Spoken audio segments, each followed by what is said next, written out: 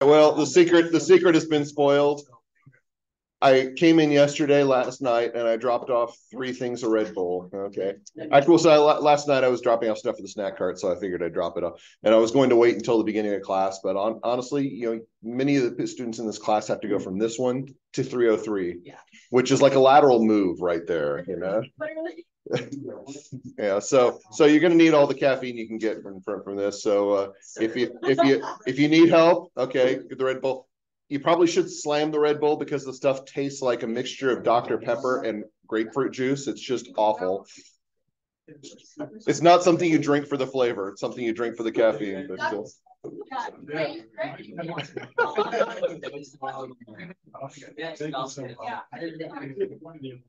so while while so uh while the distribution is taking place, I'm gonna I'm gonna put these in front of Tyler have enough energy. All right.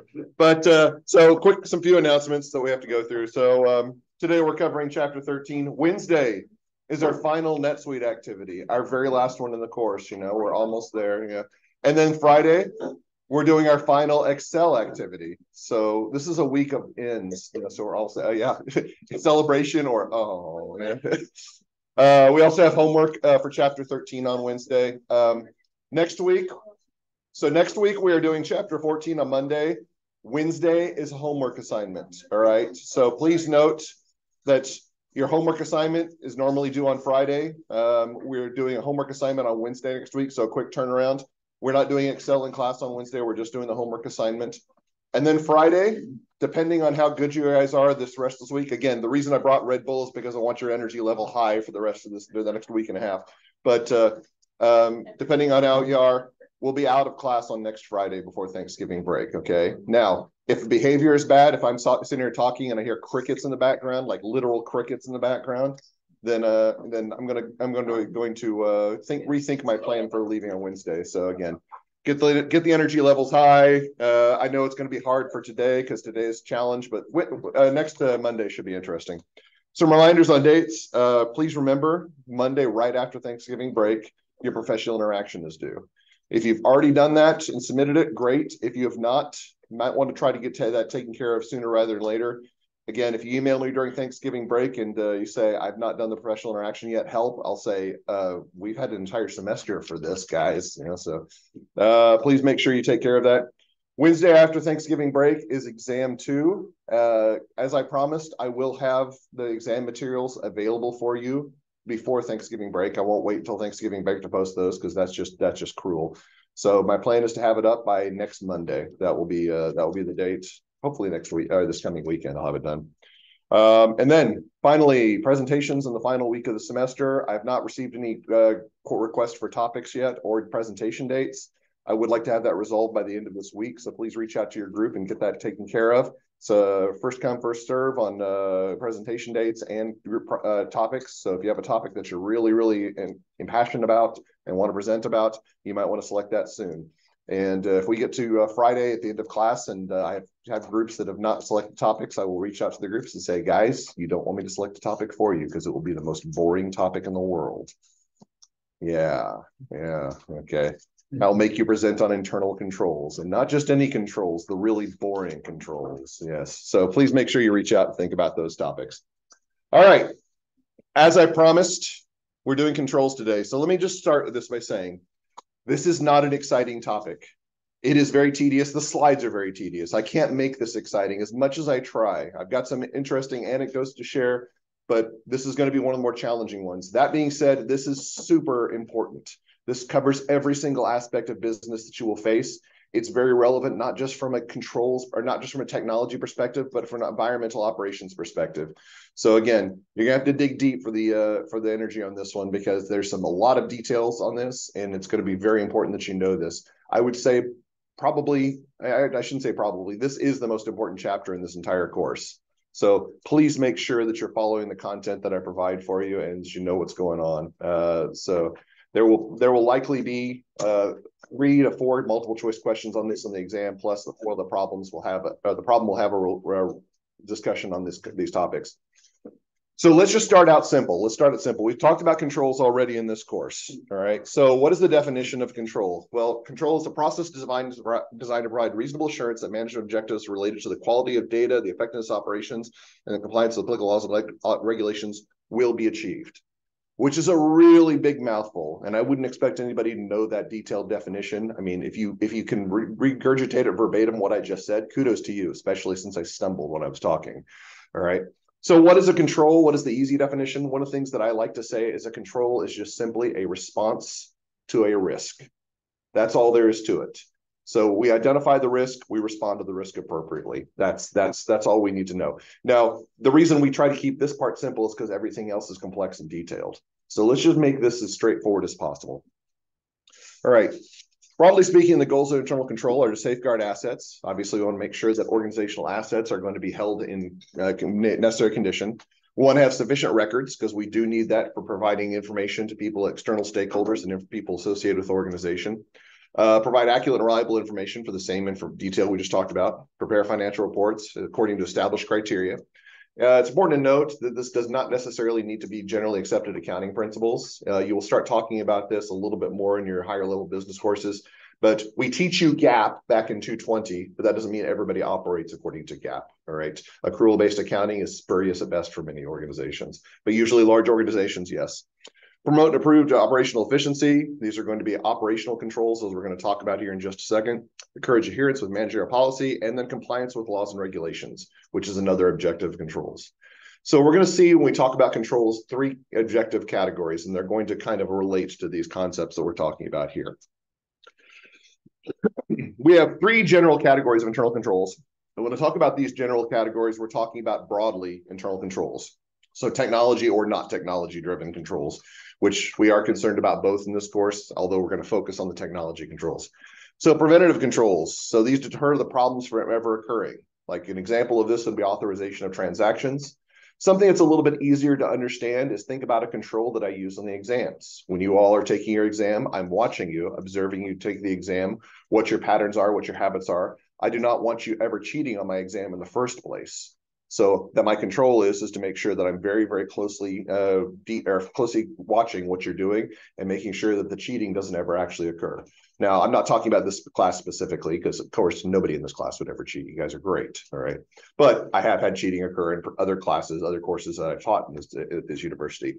So obviously that control is not sufficient unto itself. So let's talk about the other types. Detective controls. These are discover problems that are not prevented.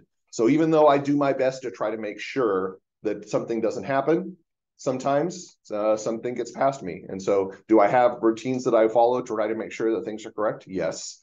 Like if I see people that are constantly sitting to next to each other in a class and see they interact really closely and they're very very tight, I might I might uh, check and see do their exam answers seem seem similar to one another. Okay, like, did they answer the same multiple choice question answers? Did they answer the same? Do they use the same verbiage on the uh, short answer questions? So that might be an indication that uh, maybe something got past me. It could also be an indication that just great minds think alike. Okay, but uh, that would be a way that we could actually approach that. Uh, example from a business perspective is bank reconciliations and month trial monthly trial balances. So we check things after the fact to see if there are any problems which uh, reconciliations are very useful for that. Not just right bank reconciliations, but any type of financial reconciliation. That's one reason why you should check your credit card statements at the end of the year, so, or the end of the month, excuse me, to make sure that there are no transactions that are uh, that you don't recognize. And then corrective controls. These are usually related to uh, the, the. These are usually tied to the detective controls. These correct and recover from problems that have been identified. So we identify a problem, something that got past our our, our controls we say we need to fix this problem. So example would be backup or files to cover corrupted data and backup files are very, very useful. Just ask Truman State in April of 2023. Okay. If they had not had backup files, then things would be much, much worse for us from a technolog- technological perspective. So kudos to ITS on that regard. All right. So make sure that we've got that be very, very, uh, it's very, very straightforward. We detect a problem. We want to make sure we have a remedial plan in place to address the problem. All right. So these are, like I said, these are general categories of controls, uh, general categories of controls. And almost all controls that we talk about will fall into one of these three categories. Usually I like to classify these according to two basic categories. I like to say preventative controls and then controls that are detective slash corrective, because usually you don't have a detective control without a corrective control to follow it. But broadly speaking, we have three categories. Also, remember from chapter five, we have two broad categories of controls over information systems. Okay, so general or access controls, these limit who can access the information system and the areas that are accessed information system that are accessible to each user. Now, again, we talk about this as to uh, people logging into the uh, logging into uh, Brightspace or logging into their computers in 1420. That would be an example of a general or access control. And generally, these tend, tend to pertain to enterprise-wide issues, so controls over access in the network, developing, maintaining applications, and things like that. So that's an easy way to think about that. Then we have our application controls. This is basically an automated control, okay? And these relates to uh, uh, provides detail for data integrity, integrity, integrity, and an audit trail. This is usually specific to a subsystem or application, ensure the ability, completeness, and accuracy of the transactions.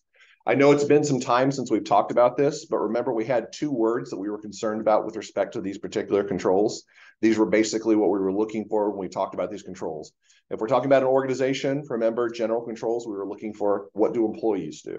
All right, what do employees do? If we're talking about application controls, we're talking about what do systems do? And so that was the way that we delineated these two types of controls. All right, so we've already gone through a lot already. We've just scratched the surface. So I guess it's time to take a break. So let's do a pop quiz. What do you say? Okay, it's a pop quiz. It's an informal pop quiz. Okay, it's an informal pop, pop quiz. You guys heard these uh, companies before, or at least so there should be at least one of these you see up here. Like see the big E, you're gonna be like, okay, I know they're the bad guys. All right. So uh, these are these. So the first two are companies that actually went through massive financial scandals back in 2002, Enron and WorldCom. And if you're not familiar with these, well, you will become familiar with these at some point, but there's some fascinating things that are associated with both of these. And then, of course, we have the accounting firm down there at the bottom. It's Andersen. They were part of the big five. And you might say, Dr. Barnes, it's only big four, isn't it? I said it was big five. Now it's only big four because Andersen's no longer here. Ha ha ha. Plot twist. All right. I'm sorry, I spoiled it. My apologies. My apologies, guys. Spoiled the plot twist. Um, so uh, that's what those have in common. And these all occurred, uh, all these uh, failures occurred in the early uh, part of the 21st century. So 2002, 2003 is kind of when this all went down.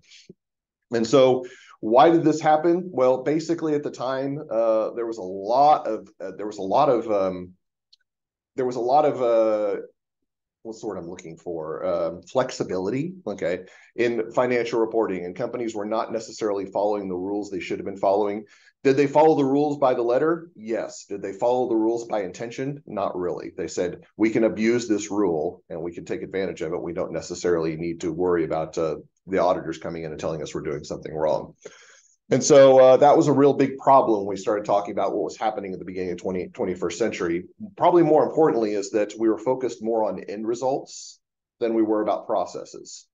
So uh, the way that I the way I described this in 417, I'm going to spoil this for some of you guys. Some of you say I remember the story from uh, 367, and some people are just going to be grossed out the first time all around.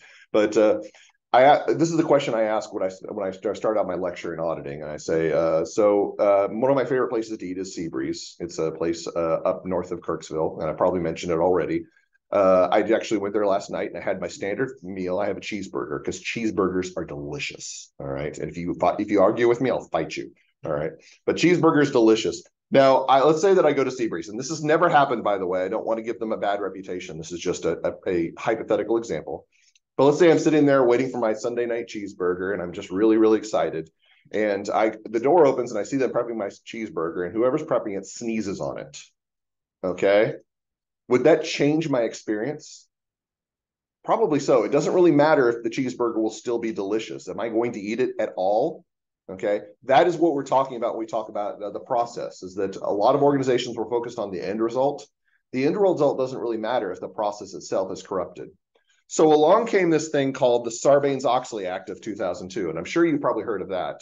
You probably heard about some vernacular, which I'm going to refer to. It's SOX. Okay, it's SOX. I always wanted to actually. I'm going to get a dog one day. I'm actually going to name it SOX, and it's not going to be S O C K S. It's S O X. It's going to be Sarbanes Oxley Barnes, and I'm going to be so clever for it. But Sarbanes Oxley Act of 2002. The goal was to improve the transparency of corporate disclosures by publicly traded issued by publicly traded companies. All right. So the idea being is we wanted to improve transparency and understand more about the process. It also established the PCAOB to oversee uh, over auditing of publicly traded companies. So there's association there, which you guys will encounter more throughout the throughout your uh, business careers. Uh, so SOX mandated the improvement of three important areas of organizational controls, corporate governance, and auditor oversight. So corporate governance is organizational policies and procedures that safeguard stakeholder interest. So we know that people who are associated with the organization, they have differing interests, but everybody is reliant on that organization doing their job properly. If you're a shareholder, you want the organization to stay in business. If you're an employee, you want the organization to stay in business. If you're a vendor, a customer, you see where I'm going with this. All right. That's kind of where the stakeholder interest goes, is that corporate governance is trying to make sure that we follow what the stakeholders need. We do what the stakeholders need. Auditors, which we're not going to go into a lot of detail in this course, but we'll talk about a lot uh, for those of you moving on to 417. Is basically, we're trying to ensure that what management says is correct. We're trying to provide independent oversight to make sure management is providing correct information to their stakeholders. So, also not a direct result of Sarbanes-Oxley, uh, many organizations also incorporated a code of ethics to define and promote organizational values. Now, code of ethics can be viewed as a form of internal control if it is, it's what we consider to be an entity level control, something that affects the entire organization, not just part of an organization. All right, so SOX 404 is something we're very concerned about, all right? And SOX 404 is a section of the Sarbanes-Oxley Act that deals with management's responsibilities in regard to design, implementation, and maintenance of an organization's internal controls. So management of organizations is responsible for creating proper internal controls within the organization. They're going to create them, they're going to implement those, they're going to start them into action, and they're going to make sure that they're properly maintained as needed. Which was going that's that's important, by the way, because that will actually reflect on the COSO framework we're about to talk about in just a second.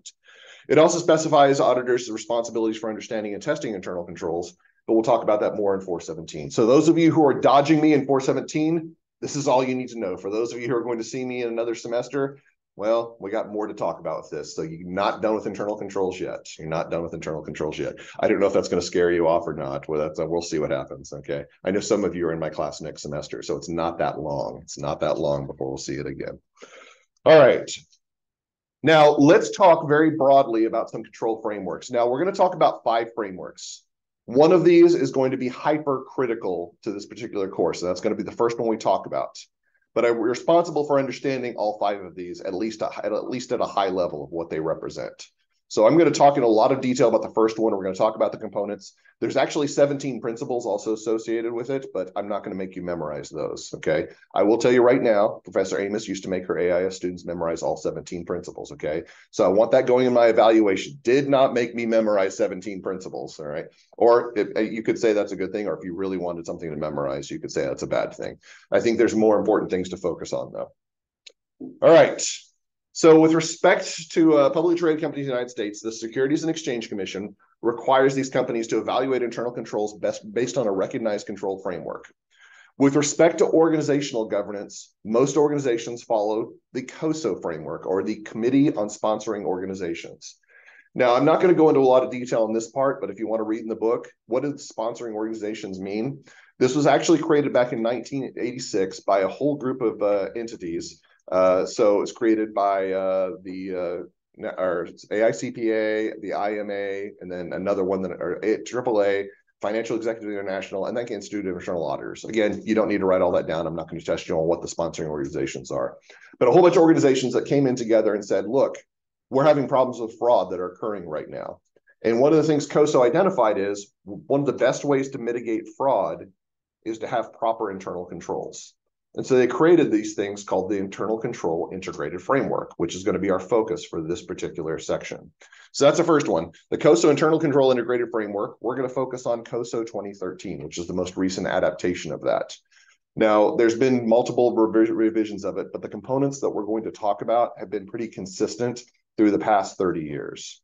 So that's one of our focus. We're also going to broadly talk about enterprise risk management, which is effectively just a version of the COSO internal control integrated framework on steroids. All right, which I don't know if that's a good thing or a bad thing. Uh, use your own judgment, but it basically expands upon the COSO internal control integrated framework and adds a few different concepts.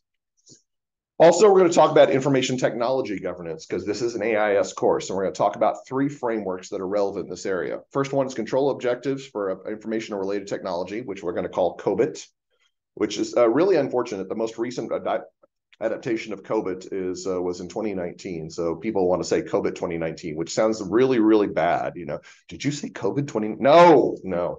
I think they actually renamed it to COBIT 4 because of that. But yeah, it's it's it's a really unfortunate acronym. And the problem was when I first started teaching advanced AIS, that was in the middle of the pandemic. So it was really, really awkward. Yeah. Uh, information technology infrastructure library ITIL, which is going to deal with service management, and then yeah, I, ISO International Organization for Standardization ISO 27000 series. By the way, if you're curious why it's called ISO when it's International Organization for Standardization, it's actually a European organization, which the French vernacular for this actually puts the I in the S or the S before the O. So that's why it's ISO for International Organization for Standardization. We're going to talk about those very high level. You don't need to know a lot of detail about those, but you do need to know what they accomplish, which we'll talk about here shortly. All right. So most widely adopted control framework in the United States is the COSO Internal Control Integrated Framework or COSO 2013. So it's a mouthful to say COSO Internal Control Integrated Framework every time. So I'm going to try to say COSO 2013 moving on. This cube is called the COSO cube, and we're going to see a similar cube when we talk about the ERAIM framework. Uh, but uh, this basically represents different dimensions of controls of the organization. I do want to talk about this area right here, uh, the operating levels. We're not going to, I'm not going to make you memorize each of the operating levels because they're fairly apparent. But the, the what the concept that's trying to be conveyed here is, is that different types of controls will affect different areas of the organization. So remember I was talking about the code of ethics just a little while ago, and I said that's like an entity level control. That would be a control that affects the whole organization. Something like uh, a segregation of duties within inventory, that would be more of an example of an, a control that would affect part of an organization, a certain area of the organization. We might say an operating unit or even a function. So when we talk about controls and we talk about the levels, it's important to note that not all controls are going to affect every part of the organization. They may be isolated to certain parts. Again, we're not going to focus too much on that concept. We're going to more broadly talk about what controls exist in place. But if you hear something like entity level control, keep in mind that we're talking about something that affects the organization as a whole. We are going to talk about these other two in detail, so I'm going to go ahead and move on to those slides. So the first one we're going to talk about is organizational objectives. Remember that big long list that was like in the third slide? Okay. So the title slide, and then I talked about what is a control, and then I gave you a big long list of bullet points of what controls do. And I said they fall broadly in three areas. These are the objectives that we were talking about. Now, I will argue that probably the most important is this first one. All right. Mostly because I'm an auditor and I'm concerned most about this first one, but it's the reliability of financial reporting. And a lot of those bullet points that we talked about on that third slide had to deal with preparing preparing information for reporting purposes. However, controls actually resonate in a bunch of different areas. Okay, they uh, resonate with respect to reporting. We can also say that controls are going to help improve the effectiveness and efficiency of operations.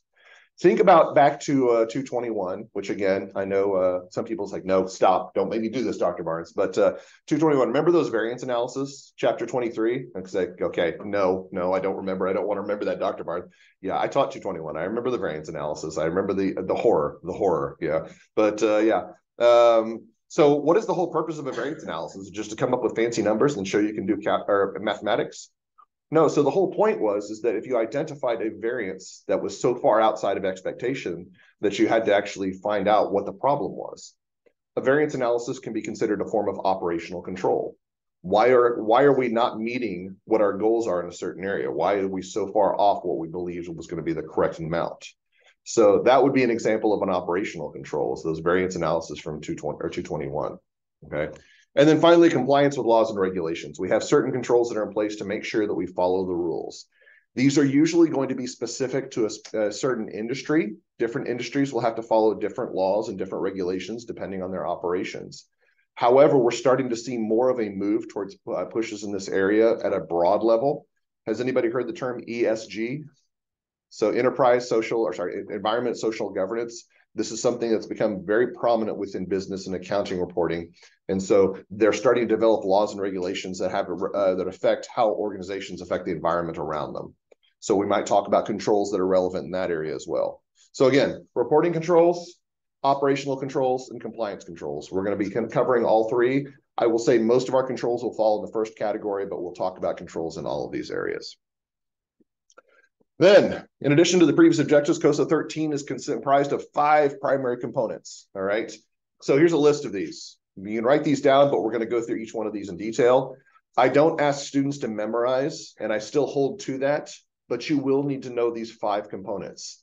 And it's beyond just knowing what they are. If I'm not going to ask you, well, I might ask you a question to list them out, but that will very rarely be all I ever ask you to do. You're going to have to know what these five components represent with respect to the component. The good news is it's fairly intuitive once you actually understand what controls are trying to accomplish. So think about it this way: when an organization has a control issue, or they, they have to decide about how to create a control, they've got certain things they need to uh, do. First of all, they need to have a buy-in from the organization as a whole. The organization needs to say, "There's a risk here. We need a control." Then we have to determine what is the risk. We have to say, how do we address the risk, and then we have to maintain that over time. That's basically all these uh, these components represent. So let's talk talk about these at very, very high level. Let's talk about these concepts at very high level here. How am I doing on time? Okay, about halfway through. We're good. We're good. Okay. So the first of these is what I argue is probably the most important in the organization, and this is called the control environment. The control environment. So control environment is characterized by the actions and attitudes of the individuals who lead the organization, which you will hear me use the term tone at the top. All right. So this is going to include management's philosophy and operating style, the organization's commitment to integrity, ethical values, and competence, internal control oversight by those charged with governance, which is going to be our board of directors or audit committee, who are the people who represent the stakeholders of the organization, and our methods of assigning authority and responsibility. By and large, all this means is saying, how does the how do the people at the top of the organization view internal controls? If they very much care about and make sure the controls are proper and doing the right thing, then controls will generally be very strong. If they don't really care about controls or not committed to it, they're just trying to get to numbers, then controls may be very weak. Remember that slide I showed you a few years, a few a few slides ago where I had the uh, Enron and WorldCom? Those were really strong examples of people or organizations where the people who were at the top were not invested in the the control. Uh, were not invested in the controls. They did not have a strong tone at the top.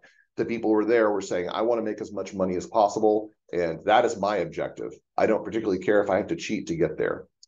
So let's go ahead and use a an example of this. Let's think about an example, and I'll, I'll refer back to this example because I think it's a very easy uh, analogy to understand.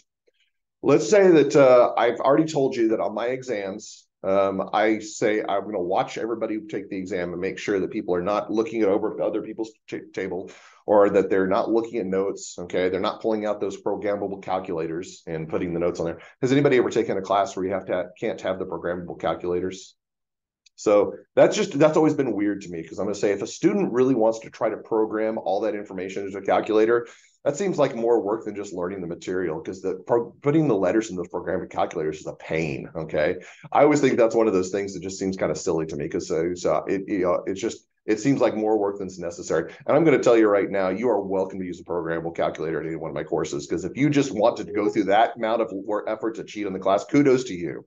All right, kudos to you. So I just don't think that's a likely. Plus, most of my stuff is qualitative anyway, so it doesn't really matter if you put all the notes in the programmable calculator. Anyway, regardless. Um, so uh, when we talk about uh, that, let's say that you ask that question. You say, Dr. Barnes, uh, is it okay if we use a programmable calculator? In my mind, I don't care. Okay. Is it okay if we have notes? I don't care. Okay.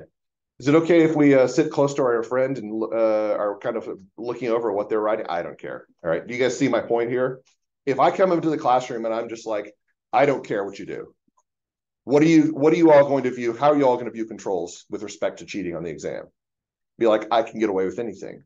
All right if instead of me watching you take the exam, I go walk outside and I go listen to uh, go listen to other instructors' lectures.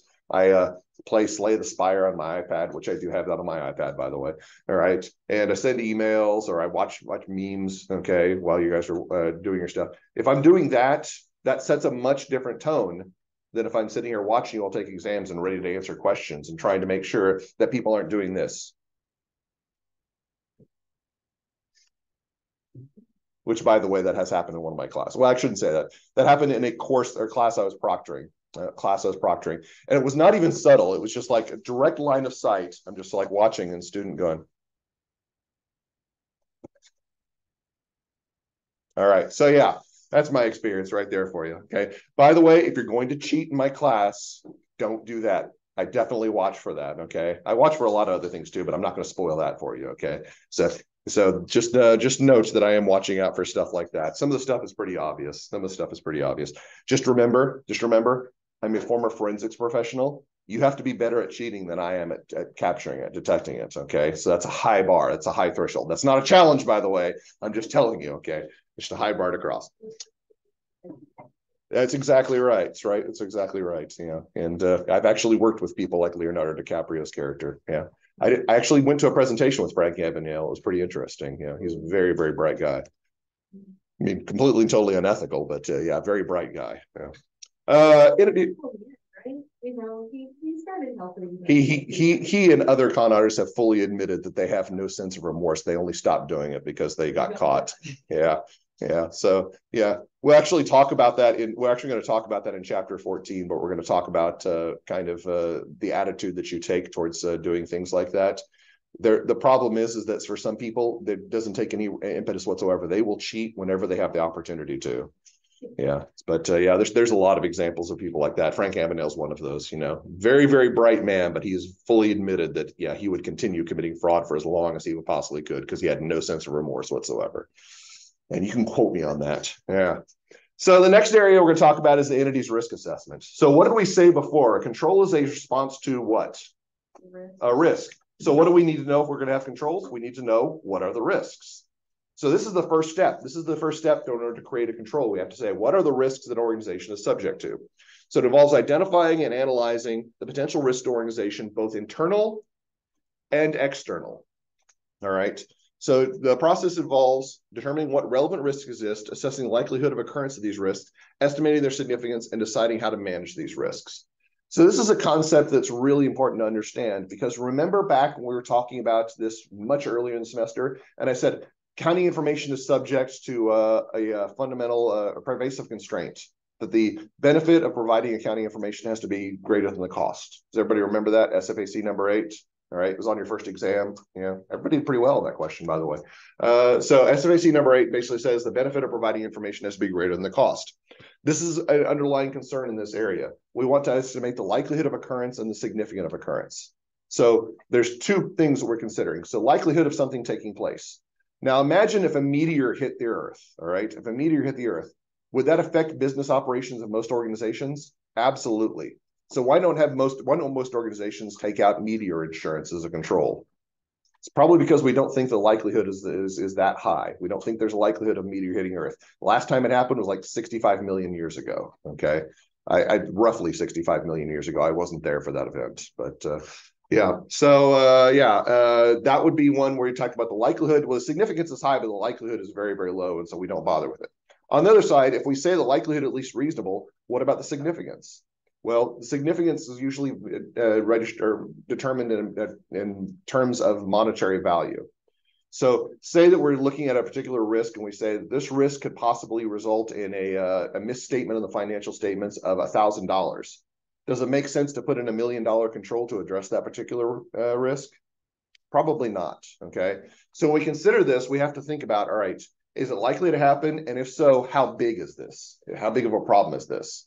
And so that's what we're thinking about when we talk about risk assessment.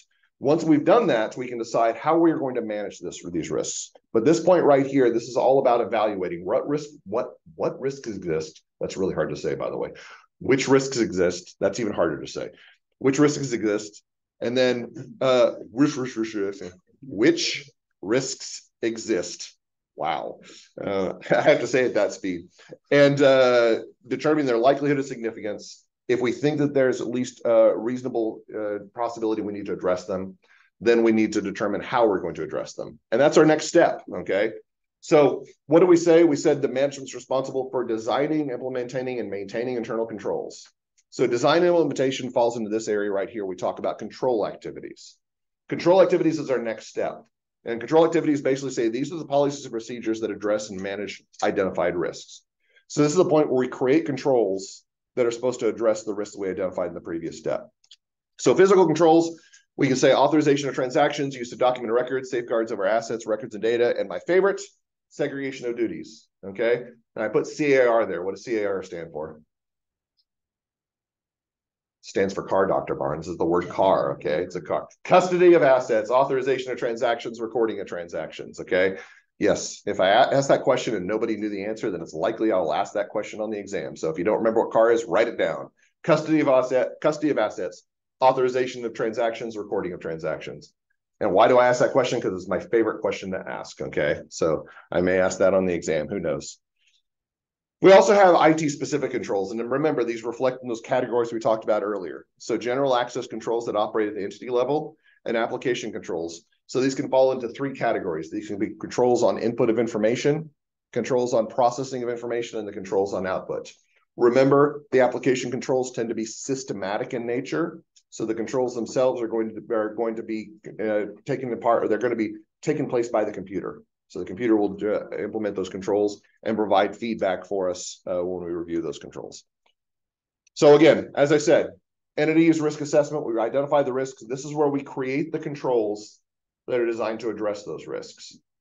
Now, something that we talk about in 417, this is not relevant to this course, but it, it is kind of relevant to the COSO framework, all right, is we talk about two types of deficiencies and controls that can exist. There can be a deficiency in the design of controls, which basically means that the control was not created or it was not created properly. That would be what we concern ourselves with here, all right, where we say the control is not does not exist or the control was not designed properly, so it doesn't work. There's another possibility. What if the control is present and designed properly, but it's not it's not working properly? Say, for example, we have segregation of duties set up. We have three people one responsible for custody, one responsible for authorization, one responsible for recording. And so I have proper segregation of duties in an area. But somebody is absent on one day. They, they, they, they're not there on work one day. So they basically email and says, you know what, I can't perform this authorization. Here's my password. You can authorize for me. And they give that to the person who's responsible for custody of train or custody of assets. That violates that segregation of duties we just talked about. So when we talk about the operation of controls, the people who are responsible for those controls are not following the rules. So in order to make sure controls are operating properly, we have to convey the information. We have to convey what they're supposed to be doing. So this is our next step, information and communication. They support all the other control components by conveying details and responsibilities over internal controls. So again, if I implement segregation of duties, I want to make sure you're responsible for custody, you're responsible for authorization, you're responsible for recording. And those responsibilities should never be shared between two people because that's the whole purpose of the purpose of the control, the whole purpose of the control, whole purpose of the control. When I get really excited, I start start talking badly. That's also a problem of getting old is that uh, I, the words that come out of my mouth are not the words I intend to say. It's just getting worse over time. You guys come and visit me in 10 years, I'm just going to be saying porpoise over and over again. All right. So what are some control uh, concerns we have? What are some uh, communication we are concerned about? Well, internally, we definitely want to make sure our employees understand their role. All right. The person who's responsible for custody needs to understand they are the sole person responsible for custody of assets in an area.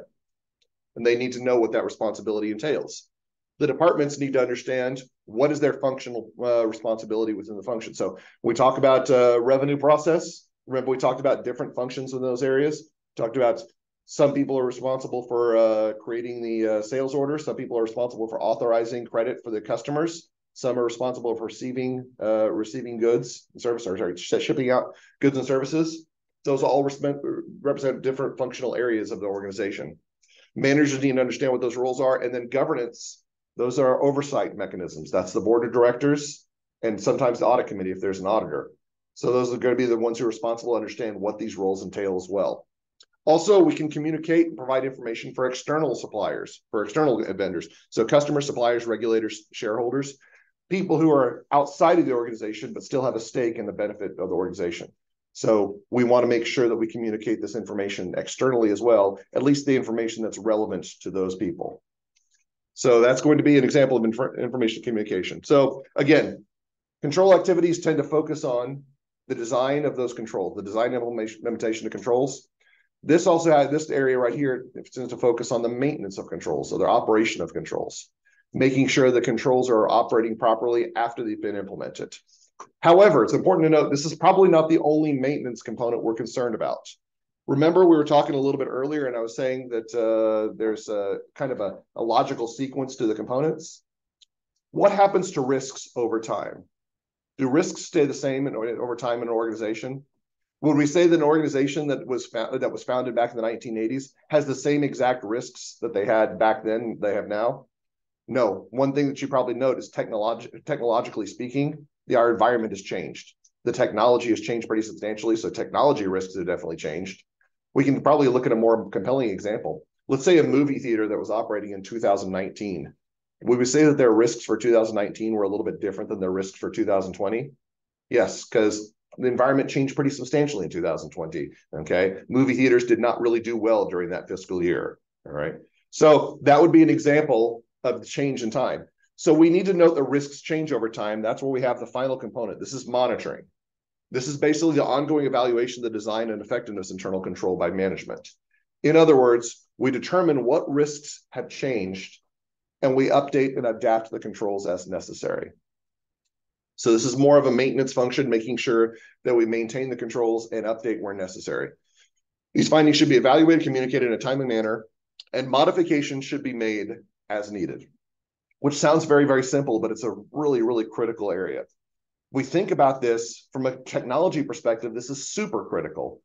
I've actually done audits for companies that were operating on the same technology software that they were operating on 30 years previously. This is true. Back in 2000, I think 2006, 2007, over that busy season, I was operating for a company or doing an audit for a company back in, uh, it was middle of uh, Texas. It's kind of like West Texas area. It's like Midland, Lubbock area. And I did an audit for that company in that area. And legitimately, the co computer software they were using was the same computer software they were using in the early 1980s. All right. So imagine the risks that have changed over that time it's really, really hard to adapt and update if your technology is not updated as well. So this is something very relevant with AIS when we talk about the technology adaptation that's necessary. All right. So that was the five components. Again, you're responsible, very, very responsible for those five components. I think this is the most important thing that you're going to learn in this lecture for sure. And one of the most important things you need to do in the cohort course. Okay, so control environment, entities risk assessment, control activities, information communication, and monitoring. Okay. Don't just remember what they are, but make sure you understand what they represent with respect to the components. There is a 100% chance I will ask you a question on this. I would say there's a 100% chance I will ask you multiple questions on these concepts. So make sure that you know them. And by the way, I've never said that memorization is enough. Knowing those five terms is really, really good, but you do need to understand what they represent, which is also a problem for those of you who are planning on taking the CPA exam. Uh, one of the things Becker likes to do is they like to make these really, really fun acronyms. So their acronym for this is CRIME. All right which just really annoys me because that says this memorizing this is fine. Plus, it's out of order. E stands for existing control activities, which is you know, means that the sequences stuff. And I get really, really upset at Becker for doing that. But uh, at least it's an acronym. That's all that really matters. Okay. So let's talk about some other things that are still relevant, but we're not going to go into as much depth with. All right. Let's talk about the ERM. So we're not going to go into as much detail except to say that it expands upon 2013 to provide a broader view on risk management to maximize firm value. So this is something that's going to be applicable to very large organizations that have the uh, resources necessary to actually implement different concerns. So you will notice that there's a few things that have been added here. We still have the same entity levels, but we've actually got four components. We've got a strategic component, and then we've got additional, sorry, objectives. My apologies. These are objectives. We've got a strategic objective, and then we've got some additional components as well. So additional objectives, strategic, additional components, objective setting, event identification, and risk response. Okay. We're not going to go in depth as to what those mean. I would like for you to be able to identify those additions. All that I really want you to know is that ERM is just a bigger, more established version of the COSO internal control frame, integrated framework. Basically, all it says is, is that there are some additional concerns that we as a large organization have to take into mind.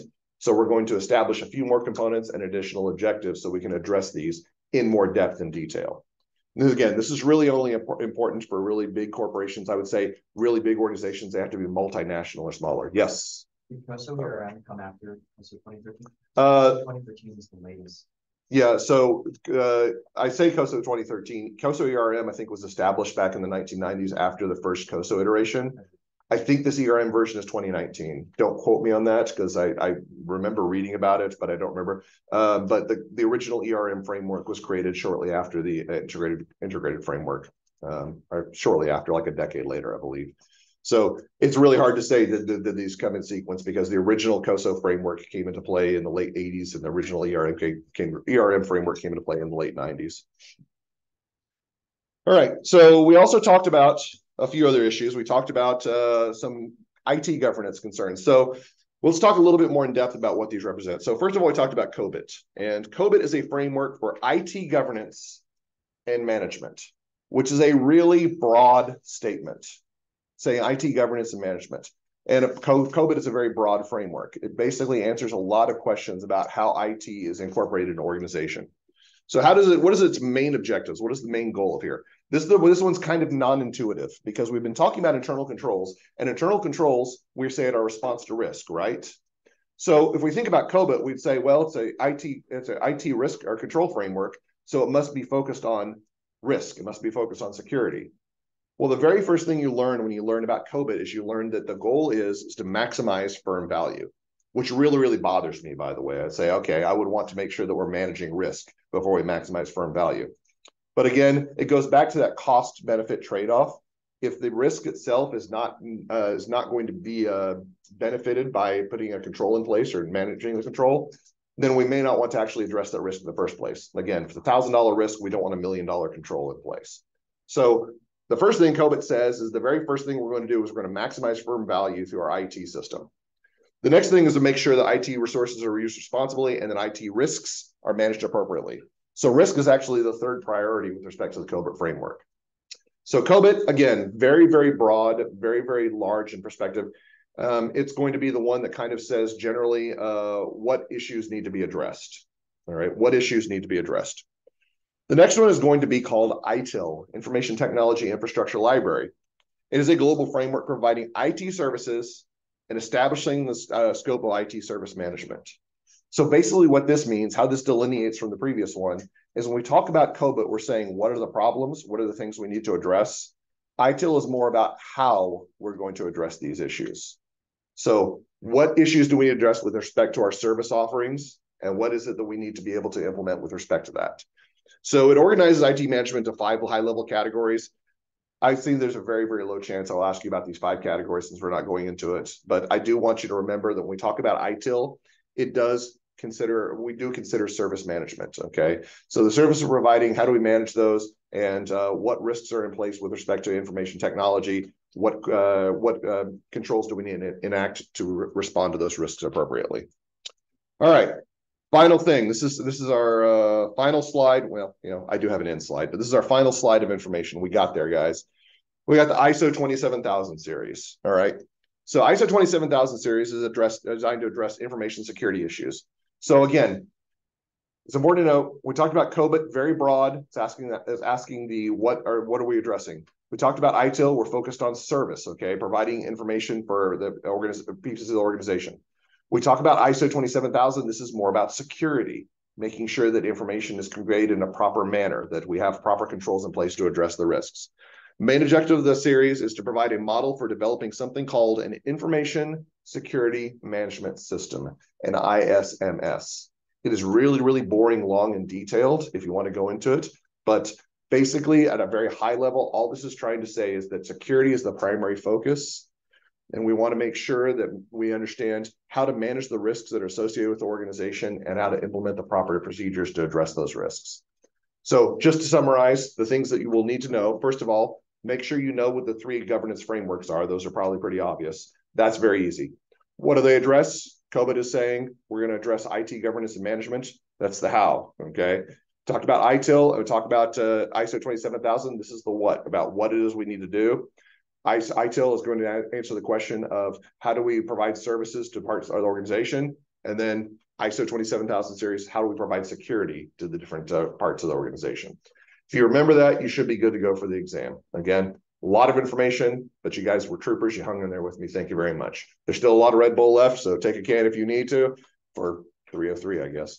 And uh, I'll see you guys on Thursday. Sorry, Wednesday. Wednesday. Wednesday. See you guys on Wednesday.